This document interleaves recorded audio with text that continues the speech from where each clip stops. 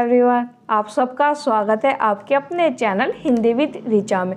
जैसा कि आप लोगों को पता है, जो हमारे चैनल को फॉलो कर रहे हैं, हमारी चल रही है यूजीसी नेट हिंदी की यूनिट छः और हमने अभी तक यूनिट छः पर दो क्लास ले चुके हैं। उनमें हमने क्या किया था, मैं एक बार आपको बता देती हूँ। हमारे सिलेबस में तेरह उपन्यास लगे हुए हैं। हमने अपनी पहली क्लास में तेरह उपन्यास का कालक्रम देखा था। उनके पात्र देखे थे सभी उपन्यास के और उनकी विषय वस्तु देखी थी। फिर हमने दूसरी क्लास में क्या किया था? हमने रामचंद्र तिवारी की बुक से इन सभी उपन्यास को पढ़ लिया था। तो आज हम बात करेंगे इनके राइटर की। अभी तक हमारी एक भी क्लास इनके राइटर पर नहीं हुई है। ये भी महत्वपूर्ण है। होता क्या है? जो एग्ज़ाम में आपकी विधा लगी रहती है, जैसे हिंदी उपन्यास, नाटक, कहानी। तो वे उपन्यास तो महत्वपूर्ण हो ही जाते हैं, उनके राइटर भी महत्वपूर्ण हो जाते हैं। यदि आपके सिलेबस में राग दरबारी लगा है तो आपका फ़र्ज़ बनता है कि आप श्रीलाल शुक्ल के बाकी उपन्यास भी याद कर ले। मतलब आपको ये पता होना चाहिए कि ये श्रीलाल शुक्ल का उपन्यास है या नहीं, और उनका कालक्रम उनके उपन्यास का। हम बहुत बच्चों का मैसेज आता है और पूछते हैं, मैम कालक्रम वाले क्वेश्चन गलत होते हैं, हम क्या करें? तो आप ऐसे छोटे छोटे भागों में डिवाइड कर कर कालक्रम वाले जो क्वेश्चन है, उनकी तैयारी कीजिए। देखिए, जैसे आज हम करेंगे, क्या करेंगे हम? जो हमारे सिलेबस में तेरह राइटर है यूनिट छः में, आज हम इनके सभी उपन्यास देखेंगे, उनका कालक्रम देखेंगे। यहाँ से हर बार एग्ज़ाम में क्वेश्चन आ रहा है। मैं जो आपको करवा रही हूँ यूनिट वाइज वो मैं इसलिए करवा रही हूँ कि ताकि जो एग्ज़ाम में बिल्कुल मेन चीज़ है वे आपकी रह नहीं जाए। मैं पहले पी वाई क्यू देखती हूँ दो तीन साल के किस तरह के क्वेश्चन पूछे जा रहे हैं। फिर उसके आधार पर ही मैं डिसाइड करती हूँ कि हमको क्या पढ़ना चाहिए। तो आज हम शुरू करेंगे अपने जो राइटर है, उनकी। तो सबसे पहले हम इनका कालक्रम देख लेते हैं। कालक्रम हमने पहली क्लास में भी देखा था इन राइटर का। लेकिन आज हम फिर से देखेंगे ताकि हमारा रिवीजन हो जाए। मैं आपको बार बार कहती हूँ कि कभी भी ज़्यादा पढ़ना मैटर नहीं करता। भले ही आप कम चीज़ें पढ़ें, लेकिन उनको बार बार रिवाइज कर ले। क्योंकि होता क्या है, हमारा जो हम कम चीज़ें पढ़ते हैं, लेकिन जब ज़्यादा बार जो हम रिवाइज कर लेते हैं तो ये मानकर चलिए कि आपकी ये चीज़ें गलत नहीं होनी चाहिए। उन टॉपिक से क्वेश्चन आता है तो आपका सही होना चाहिए। तो आज हम देखेंगे आप सबसे पहले इनका कालक्रम। गौरीदत्त का 1836 समय है।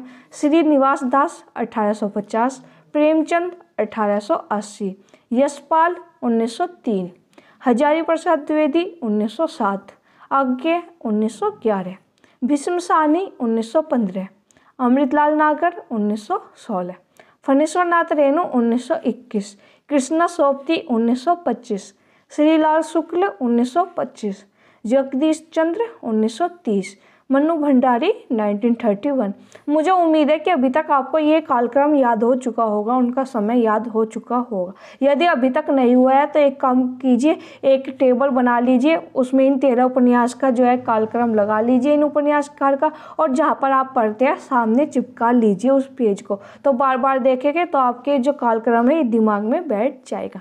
आप पढ़ना शुरू करते हैं, जैसा कि मैंने बताया, आज हम जो है उपन्यासकार को ही पढ़ने वाले हैं। सबसे पहले देखो, मैंने ना लाइन वाइज ही रखा है, जैसे इस क्रम में है ना ऐसे ही मैंने राइटर रखे हुए हैं। तो सबसे पहले हम दो राइटर की बात करते हैं गौरी दत्त और लाला श्रीनिवास दास इनके बारे में इनके एक एक उपन्यास ही है, जो हमारे सिलेबस में लगे हैं। तो इनमें हमें जो देखने वाली बात है, ये ये है कि किसने इन उपन्यास को प्रथम उपन्यास माना है? तो ये टेबल है। मैं आपको इस, ये पेज बता देती हूँ, ये किस बुक का पेज है? ये जो हमारी पांडे वाली बुक आती है, वन लाइनर। मैंने वहीं से ये पेज रखे हैं, बल्कि आने वाले मैंने पाँच छः पेज उसी बुक के रखे हैं। कुछ पेज मैंने रामचंद्र तिवारी बुक के रखे हैं। तो सबसे पहले देखते हैं कि देवरानी जेठानी की कहानी को प्रथम उपन्यास किसने कहा था? तो डॉक्टर गोपाल राय, ये इंपॉर्टेंट हो जाता है, याद रखिएगा। फिर बात करते हैं हम लाला श्रीनिवास दास की परीक्षा गुरु की, कि इसको प्रथम उपन्यास किसने कहा था? तो श्री रामचंद्र शुक्ल, दोनों पॉइंट याद रखना। इसमें एक तीसरा पॉइंट भी है, उसको भी याद रख लेना, जो भाग्यवती उपन्यास है, श्रद्धाराम फिलोरी का। उसको प्रथम उपन्यास किसने कहा था? तो डॉक्टर विजय शंकर मन। ज़्यादा जो पेपर में पूछा जाता है, वो देवरानी जेठानी की कहानी और परीक्षा गुरु पूछे जाते हैं। और आपके पेपर में दोनों उपन्यास है तो आपके लिए ज़्यादा महत्वपूर्ण हो जाते हैं। आचार्य रामचंद्र शुक्ल ने लाला श्रीनिवास दास कृत परीक्षा गुरु को अंग्रेज़ी के ढंग का हिंदी का पहला मौलिक उपन्यास माना है। ये हमने कल जब हमने रामचंद्र तिवारी की बुक से पढ़ा था, वहाँ पर भी मैंने आपको बताया था, ये पॉइंट इम्पोर्टेंट है और याद रखिएगा किसने कहा है? रामचंद्र शुक्ल ने। तो ये हमारे यहाँ पर दो राइटर की बात हुई, गौरीदत्त और लाला श्रीनिवास दास। इनके बारे में कोई ज़्यादा महत्वपूर्ण नहीं है एक एक पॉइंट महत्वपूर्ण थे, वे मैंने आपको बता दी। अब हम चले गए प्रेमचंद की और उनके उपन्यास के बारे में हम पढ़ना शुरू करेंगे। ये भी पेज जो है, पांडे वाली बुक का है, शुरू से ही देखते हैं। मुंशी प्रेमचंद का मूल नाम धनपत राय था, किंतु वे बदलकर किंतु वे नाम बदलकर नवाब राय बनारसी के नाम से लिखते थे। धनपत राय को प्रेमचंद नाम उर्दू के लेखक दया नारायण निगम ने दिया था। जो प्रेमचंद नाम दिया था, वो किसने दिया था? ये दया नारायण निगम ने दिया था। याद रखिएगा, वैसे बहुत नॉर्मल चीज़ें, ये सबको पता होती है। एन टी इतना भी जी क्वेश्चन नहीं पूछेगा। यहाँ पर जो महत्वपूर्ण है, ये उपन्यास महत्वपूर्ण है। लेकिन एक बार हम सब पॉइंट पढ़ते हुए चलते हैं ताकि हमारा रिविजन हो जाए। प्रेमचंद को उपन्यास सम्राट की संज्ञा बंगला कथाकार शरद चंद्र चट्टोपाध्याय ने दिया था। यदि एनटी ऐसे क्वेश्चन पूछता है कि प्रेमचंद नाम जो है, उन उर्दू के लेखक दया नारायण निगम ने दिया था, इस तरह के तीन चार पॉइंट बनाकर दे देगा और थोड़ा बहुत चेंज कर लेगा तो महत्वपूर्ण हो जाता है। वैसे सबको पता होता है कि जो प्रेमचंद नाम है, उनको किसने दिया था? दया नारायण निगम ने दिया था। ये क्वेश्चन टीजीटी पीजीटी में पूछे जा सकते हैं। अब आगे चलते हैं इनके उपन्यास की तरफ़ चलते हैं। प्रेमचंद द्वारा लिखे मूल उर्दू में उपन्यास का उनके द्वारा किया गया हिंदी रूपांतर निम्नलिखित है। जो प्रेमचंद ने मूल उर्दू में उपन्यास लिखे थे, उनका बाद में हिंदी रूपांतर भी किया था। तो यहाँ पर वे उपन्यास यहाँ पर दिए हुए दोनों नाम महत्वपूर्ण है, उर्दू नाम भी और हिंदी रूपांतर नाम भी। सबसे पहले देखेंगे यहाँ पर यह असरारे महावीर ये किसका उपन्यास है? प्रेमचंद के उपन्यास की बात हो रही है। समय था 1903 से 1905 फिर यहाँ पर इन्होंने हिंदी में रूपांतर किया था 1905 में। आगे हम खुरमा व हम सबाब। 1906 फिर हिंदी में प्रेमा नाम से लिखा था। याद रखिएगा 1907 में किसना इम्पोर्टेंट वेरी इंपॉर्टेंट गवन का नाम बार बार पूछा जाता है कि उर्दू में इसका नाम क्या था। तो याद रखिएगा, किसना 1907 में किसना लिखा था और गवर्न नाम से कब लिखा था? 1931 में। जलवायु सार इम्पोर्टेंट 1912 में लिखा था और फिर इसका हिंदी रूपांतर वरदान के नाम से किया था 1921 में। बाज़ार हुस्न 1917 में लिखा था और इसका जो हिंदी में रूपांतर किया था, वो क्या था सेवा सदन नाम से 1918 में। वेरी वेरी इंपॉर्टेंट है सेवा सदन। फिर है गोसाई आफियत, ये जो हिंदी में लिखा था प्रेमाश्रय नाम से 1922 में। फिर चौगाने हस्ती रंगभूमि के नाम से हिंदी रूपांतर किया था 1925 देखो मैं आपको बता देती हूँ, प्रेमचंद आपको ही पता है कितने महत्वपूर्ण राइटर हैं। अगर कोई हिंदी से भी नहीं है मतलब हिंदी साहित्य का स्टूडेंट नहीं है, उसको भी प्रेमचंद का नाम पता रहता है। बहुत फ़ेमस है, बहुत प्रसिद्ध है। तो इनकी तो आपको सभी रचनाएँ सन सहित याद रखनी पड़ेगी। जैसे इनके उपन्यास है, इनका आपको सन भी याद होना चाहिए, कालक्रम बहुत पूछा जाता है। अब देखते हैं इनके प्रथम उपन्यास के बारे में। असरार महावीर प्रेमचंद का प्रथम उपन्यास है। अगर आता है प्रेमचंद का प्रथम उपन्यास, क्या कौन है? तो असरार महावीर। लेकिन सेवा सदन प्रेमचंद का पहला प्रौढ़ हिंदी उपन्यास यानी हिंदी में जो पहला उपन्यास है, वो कौन है? सेवा सदन। प्रेमचंद का हिंदी में मूल रूप से लिखा प्रथम उपन्यास कायाकल्प है। देखो कंफ्यूज मत होना। कायाकल्प है जो मूल रूप से मतलब डायरेक्ट जो है हिंदी भाषा में ही लिखा गया था। सेवा सदन क्या है? पहले उर्दू में लिखा गया था बाज़ार हुसन बाद में हिंदी में रूपांतर किया गया। तो जो मूल रूप से लिखा कि डायरेक्ट मतलब उर्दू में ना लिखकर उन्होंने सीधा हिंदी में लिखा, वो उपन्यास कौन सा था? कायाकल्प। कायाकल्प का समय है उन्नीस याद रखिएगा कंफ्यूज मत होइएगा प्रथम उपन्यास को लेकर। आगे चले गए। सन 1907 ईस्वी में प्रेमचंद ने रूखी रानी नामक ऐतिहासिक उपन्यास की रचना की। आगे चलते हैं। अब यहाँ पर जो है, इनके उपन्यास जो यहाँ पर ज़्यादा महत्वपूर्ण हो जाता है। इनका कालक्रम नोट्स कर लीजिएगा, नोट्स बनाते हुए चलेगा और इनकी विषय वस्तु भी दी हुई है। सबसे पहले देखेंगे देव स्थान रहस्य का। 1905 समय है। मंदिरों और तीर्थ स्थानों में फैले भ्रष्टाचार, पाखंड की आलोचना। प्रेमा 1907 हिंदुओं में विधवा विवाह की समस्या का चित्रण। सेवा सदन 1918 वैश्य जीवन पे लिखा गया उपन्यास है। वेरी वेरी इंपॉर्टेंट है, इसकी विषय वस्तु भी याद रखिएगा। वरदान 1921 प्रेम एवं विवाह की समस्या का चित्रण। प्रेमाश्रम 1922 जमींदारों एवं किसानों से संबंध। रंगभूमि 1925 कायाकल्प 1926 ये इंपोर्टेंट है क्या रखेगा इसमें पुनर्जन्म की धारणा पर समाज सेवा राजा के अत्याचार, विलास एवं सच्चे प्रेम का चित्रण। देखो, मैंने आपको पहले ही बताया और एक बार फिर बता देती हूँ, ये सभी उपन्यास, इनका कालक्रम आपको याद रखना पड़ेगा, क्योंकि प्रेमचंद के उपन्यास है और जो हमारे पाठ्यक्रम में राइटर लगे हैं, उनके आपको सभी उपन्यास का अगर समय भी याद नहीं होता तो कालक्रम आपको याद होना चाहिए, लेकिन प्रेमचंद के सभी उपन्यास का आपको सन भी याद होना चाहिए। आगे चल अब हम आगे चलेंगे, आगे देखेंगे निर्मला। वेरी वेरी इंपॉर्टेंट है इसकी विषय वस्तु भी। दहेज एवं अनमेल विवाह की समस्या का चित्रण गबन 1931 कर्म भूमि इंपॉर्टेंट है। इनकी मतलब जो है विषय वस्तु भी इंपॉर्टेंट है 1933 याद रखेगा दलित किसान उत्थान की कथा है। इसमें एग्ज़ाम में पूछा भी गया था। प्रेमचंद के किस उपन्यास में हरिजन का चित्रण है, यानी दलित किसान का चित्रण है? तो याद रखिएगा कर्म भूमि ये आया था क्वेश्चन 2021 में, जहाँ तक मुझे याद है, आया था 2020 या 21 में ये क्वेश्चन आया था।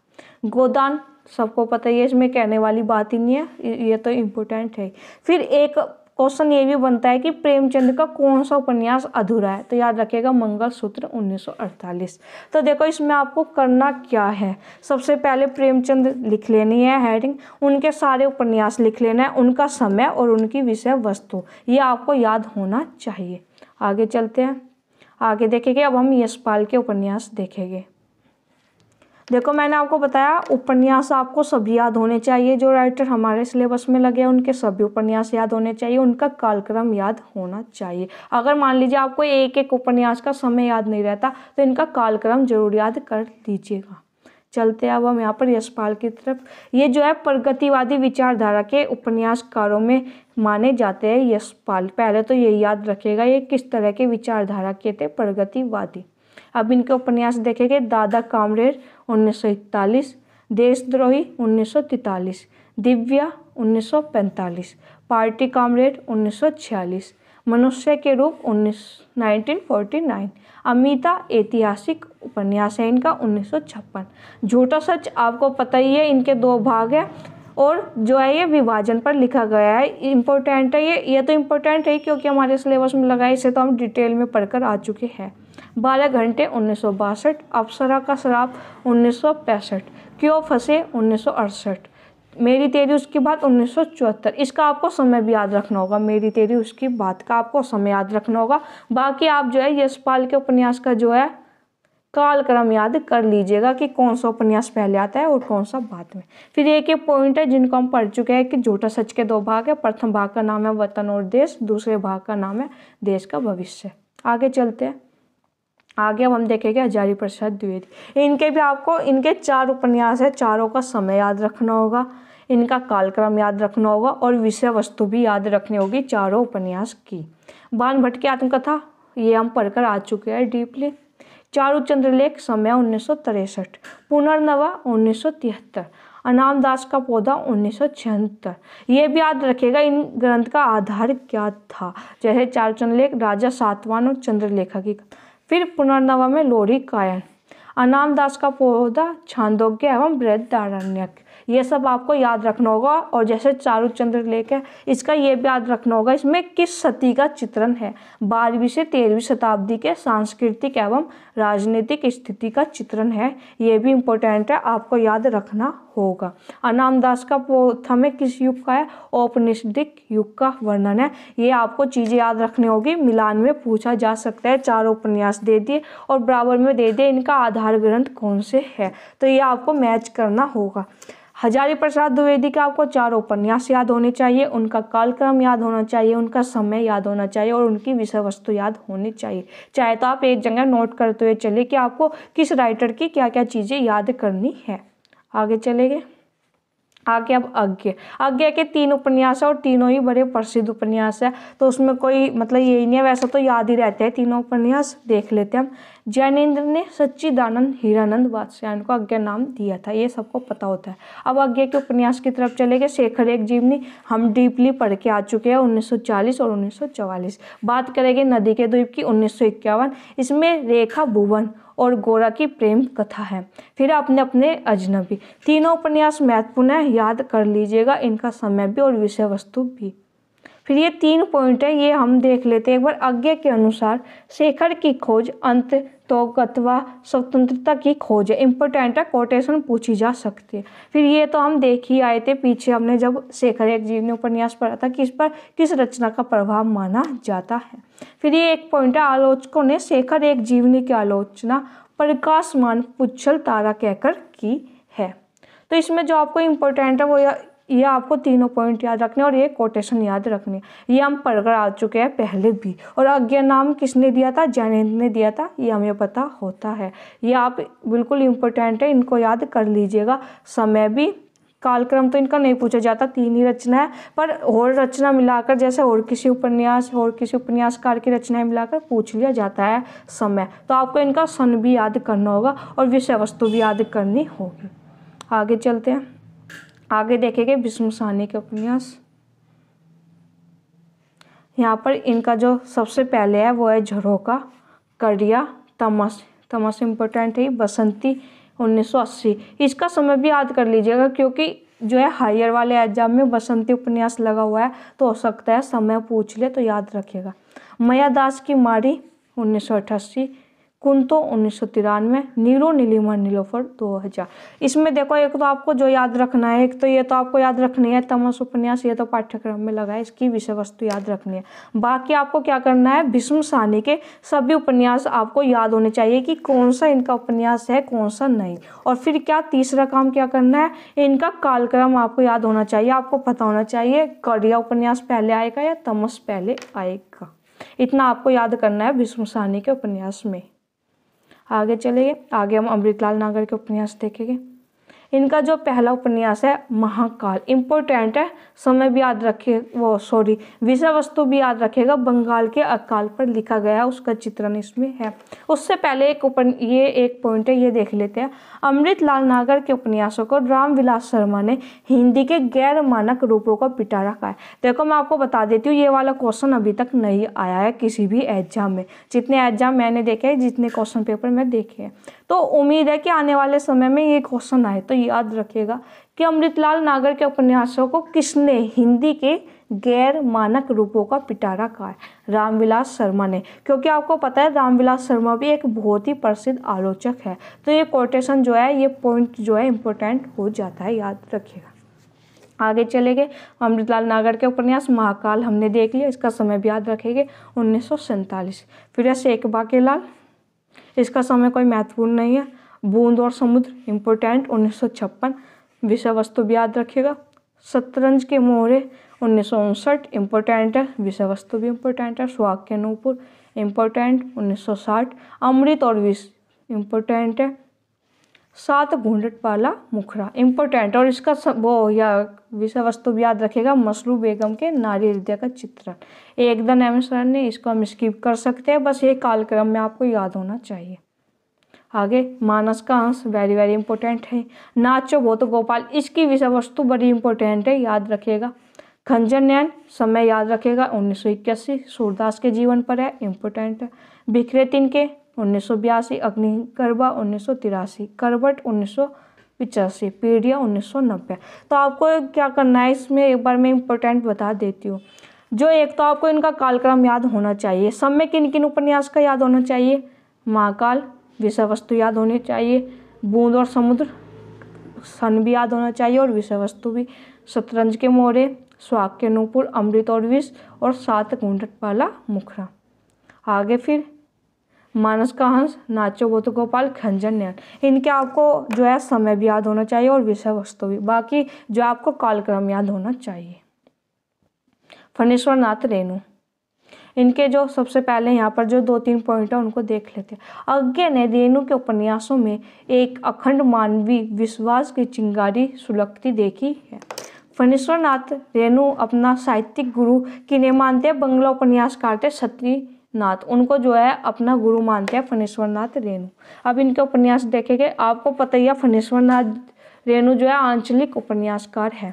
मैला आंचल इम्पोर्टेंट है मेरीगंज गाँव की कथा है। प्रति परिकथा भी याद रखिएगा, किस गाँव की कथा है? प्राणपुर गाँव की कथा है। कई बार तीन चार उपन्यास दे देते हैं और उन बराबर में जो है, गाँव का नाम दे देते हैं और कहते हैं, मैच करिए, किसी उपन्यास में किसी गाँव की कथा है। तो पूरे चांस है कि प्रति परिकथा का भी जो है, गाँव का नाम पूछ लिया जाए तो प्राणपुर, मिलान वाले में पूछा जा सकता है। ठीक है? दोनों याद रखिएगा। मेरी गंज तो याद भी रहता है और याद रखना पड़ेगा क्योंकि हमारे जो है सिलेबस में लगा हुआ है। फिर है दीर्घतपा झुलूस कितने चौराहे, पलटू बाबू और राम रतन राय। एक ये चीज़ याद रखिएगा। कि जो राम रतन राय राय है, इनका अपूर्ण उपन्यास है, यानी अधूरा उपन्यास है। पीछे हमने प्रेमचंद का देखा था, मंगलसूत्र, और यहाँ पर हमने देखा फणेश्वर नाथ रेणु का उपन्यास अधूरा कौन सा है? राम रतन राय ये देखो, आपको उपन्यास तो सभी के याद होने चाहिए कि कौन सा किसका उपन्यास है। लेकिन कालक्रम आपको याद होना चाहिए, लेकिन समय जो है, आपको ये नहीं है कि जैसे यहाँ पर इतने उपन्यास है, सबका समय याद करना है। नहीं, जो महत्वपूर्ण है, जो अलग से पूछे जा सकते हैं कि इस उपन्यास का समय क्या है, बस उन्हीं का याद करना है, ठीक है?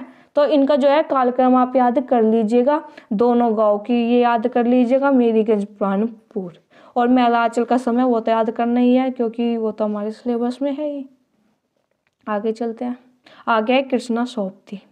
इनके जो है उपन्यास है पाँच उपन्यास यहाँ पर पांडे वाली बुक में मिलते हैं।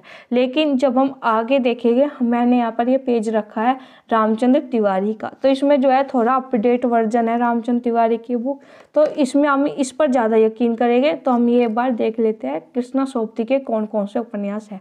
सूरजमुखी अंधेरे के उन्नीस सौ बहत्तर, ज़िंदगी नामा उन्नीस सौ दिलो दानिश उन्नीस सौ तिरानवे, समय सरगम दो हज़ार। गुजरात पाकिस्तान से गुजरात हिंदुस्तान 2017 चन्ना 2019 तो जो है कृष्णा सोप्ती के छह उपन्यास है, ये पेज है रामचंद्र तिवारी का। मैंने यहाँ पर जो है इनकी विषय वस्तु भी रख दिया आप लोग देख लीजिएगा। ज़िंदगी नामा की जो विषय वस्तु है, वो हमने कल पढ़ ही ली थी। यहाँ पर मैंने पेज इसीलिए रख दिया क्योंकि पांडे वाली बुक में जो है महिला उपन्यासकार जितनी भी है, उनके उपन्यास की विषय वस्तु नहीं दी हुई है। तो इसलिए मैंने रामचंद्र तिवारी की बुक से रख दिया है, कृष्णा सोप्ती के सभी उपन्यास की विषय वस्तु ये आप लोग पढ़ लीजिएगा। पेज इसीलिए रखा है ताकि किसी के पास पास बुक ना हो तो वो पढ़ ले। देखो, जो मैं बात कर रही थी पेपर में कैसे क्वेश्चन पूछे जाते हैं, ये मैंने 2022 का एक क्वेश्चन रखा है। प्रकाशन वर्ष के अनुसार कृष्णा सोप्ती के उपन्यासों का सही अनुक्रम है। और आप जानते हैं कृष्णा सोप्ती जो है, आपके पाठ्यक्रम में इनके उपन्यास लगे हुए हैं। तो इसी तरह के क्वेश्चन पूछे जाते हैं। इसका आंसर तो वन हो जाएगा। लेकिन यहाँ पर मैंने जो ये रखा क्वेश्चन ये बताने के लिए रखा कि जो हमारे सिलेबस में उपन्यासकार है, उनके हमको सभी उपन्यास के कालक्रम याद होने चाहिए और जो महत्वपूर्ण उपन्यास है, उनकी विषय वस्तु भी याद होनी चाहिए। आगे चलते हैं। आगे श्रीलाल शुक्ल के उपन्यास हैं। यहाँ पर इनके उपन्यास है, सोनी घाटी का सूरज, उन्नीस सौ सत्तावन। अज्ञातवास उन्नीस सौ बासठ राग दरबारी उन्नीस सौ अड़सठ सीमाएँ टूटती है उन्नीस सौ तिहत्तर, मकान उन्नीस सौ छिहत्तर, पहला पड़ाव उन्नीस दोनों उन्नीस में मकान भी पहला भी विश्रामपुर का संत उन्नीस सौ अठानवे देखो, अगर हम विषय वस्तु की बात करें तो एक तो आपको ये पहले उपन्यास की विषय वस्तु याद रखनी पड़ेगी सोनी घाटी का सूरज। फिर आपको राग दरबारी की याद रखनी पड़ेगी, लेकिन इनका कालक्रम आपको याद होना चाहिए। फिर यहाँ पर बात करते हैं कि पॉइंट था, श्रीलाल शुक्ल और अमरकांत को संयुक्त रूप में सन 1911 का भारतीय ज्ञानपीठ पुरस्कार प्राप्त हुआ था। ये जब हम पुरस्कार पढ़ेंगे, जब देख लेंगे, यहाँ पर लिखा हुआ था पॉइंट तो इसलिए मैंने यहाँ पर ये रख दिया। आगे चलेंगे, जगदीश चंद्र माथुर। इनके उपन्यास की तीन चार उपन्यास है, जिनके आपको विषय वस्तु भी याद रखनी होगी। यादों का पार, धरती धन्य अपना इम्पोर्टेंट है। आधा पुल उन्नीस सौ तिहत्तर कभी न छोरे खेत, मुट्ठी भर कांकर इम्पोर्टेंट है। पंजाब शरणार्थियों के दुख और संघर्ष की कहानी। टुंडालाट घास गोदाम उन्नीस नरक कुंड में वास उन्नीस सौ चौरानवे ये आपको इसलिए याद रखना पड़ेगा क्योंकि जो नरक कुंड में वास उपन्यास है, ये धरती धन अपना उपन्यास का ही विस्तार है। तो इम्पोर्टेंट है, पूछा जा सकता है कि जगदीश चंद्र के कौन से उपन्यास में धरती धन्य अपना उपन्यास का विस्तार है? और आपको तीन चार ऑप्शन देंगे तो आपको कंफ्यूज नहीं होना है, याद रखिएगा, नरक कुंड में वास। लाट की वापसी। ज़मीन तो अपनी थी वेरी इंपॉर्टेंट है, दलित जीवन पर लिखा गया। मैंने आपको कल भी कहा था कि आप दलित जीवन पर और देश विभाजन पर आधारित जितने उपन्यास है, उनकी एक सूची बना लीजिए और मुझको मेरी ईमेल आईडी पर भेजिएगा। अभी तक किसी ने नहीं भेजी है, आप लोग बना लीजिए, फिर मुझको मेरे टेलीग्राम चैनल पर भेज दीजिएगा या मेरे ईमेल आईडी पर भेज दीजिएगा। तो इनमें जो है धरती धन्य अपना की आपको विषय वस्तु याद रखनी है। मुट्ठी भर कांकर की, नरक कुंड में वास की, ज़मीन तो अपनी थी। इन चार उपन्यास की आपको विषय वस्तु याद रखनी है, बाकी आपको कालक्रम इनका याद करना ही होगा। आगे महादेव वर्मा। महादेव वर्मा के दो उपन्यास है, आपका बंटी और महाभोज। आपका बंटी के बारे में हम कल पढ़ चुके हैं। यहाँ पर मैंने जो है महाभोज की भी विषय वस्तु रख दी है। जैसा कि मैंने आपको बताया, पांडे वाली बुक में जो महिला उपन्यासकार है, उनकी विषय वस्तु नहीं है, बस उनके उपन्यास के नाम दिए हुए हैं। लेकिन जो हमारे सिलेबस में उपन्यासकार है, उनकी विषय वस्तु भी हमें देख लेनी चाहिए तो इसलिए मैंने यहाँ पर रख दिया। और महाभोज का क्या है? हमारे में नाटक लगा हुआ है। मैंने आपको बताया था, मन्नू भंडारी ने महाभोज के नाम से दो लिखे एक तो नाटक और एक उपन्यास। नाटक हमारे सिलेबस में लगा हुआ है। तो एक बार इसके उपन्यास की भी विषय वस्तु देख लेते हैं। महाभोज एक राजनीतिक उपन्यास माना गया है। इसका परिवेश व्यक्तित्व या पारिवारिक न होकर सामाजिक है। विशेषण नामक एक पिछड़ी जाति के युवक की हत्या हो जाती है। इस हत्या का राजनीतिक लाभ पद आसीन मुख्यमंत्री दास साहब और पदच्युत मुख्यमंत्री सुकुल बाबू दोनों उठाना चाहते हैं। हत्या दास के समर्थक और सहयोगी जमींदार जोरावर ने कराई है।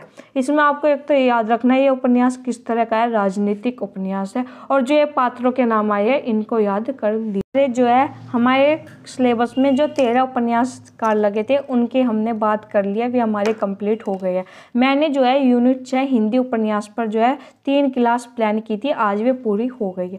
अगर आप ये तीनों क्लास अच्छे से देख लेते हैं, इनके नोट्स बना लेते हैं और इनका मल्टीपल टाइम रिविजन करते हैं तो आपके एट्टी परसेंट क्वेश्चन सोल्व हो जाएँगे यूनिट छः की। यहाँ पर मैं बात कर रही हूँ यूनिट छः से जितने क्वेश्चन आएँगे, आपके एट्टी परसेंट जो है क्वेश्चन सोल्व हो जाएँगे। जो एक दो पॉइंट मुझे लगता है कि रह गए हैं। या मुझे लगता है कि एक दो बुक में मैं एक बार चेक कर लूँगी। तो जब मैं मैराथन क्लास करवाऊँगी तो उसी में मैं वे पॉइंट भी ऐड कर लूँगी। अभी हिंदी उपन्यास पर हमारी दो क्लास होनी है। एक तो मैराथन क्लास होगी एग्ज़ाम डेट आने के बाद, और एक मैं आपको एमसीक्यू भी करवाऊँगी, ताकि आपको पता चले क्वेश्चन कैसे बन रहे हैं।